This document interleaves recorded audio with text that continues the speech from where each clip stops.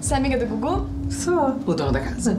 Imagina, essa casa é do tio dele. Ah. Bailarino não tem grana pra isso, não. Você sabe, né?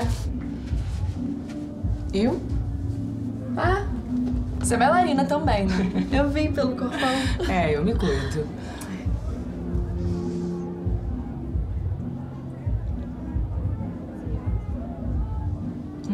Lindo.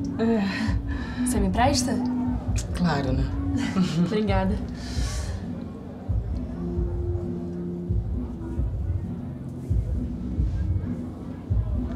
Ó, oh, bem melhor. Aqui.